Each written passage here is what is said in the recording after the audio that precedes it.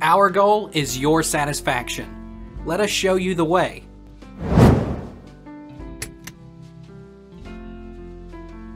How does Pepto-Bismol work chemically? In the stomach, the bismuth subsalicylate reacts with the hydrochloric acid to form bismuth oxychloride and salicylic acid. The salicylate is readily absorbed into the body, whereas the bismuth passes unaltered and unabsorbed into the feces. Does Pepto make you fart? Some people also report mild constipation after taking Pepto-Bismol. Side effects of Tums include belching and gas, flatulence. Tums may also cause constipation and dry mouth.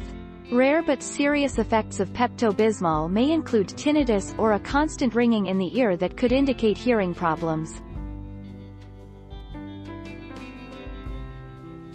Take our lead. Let's help you make your mark.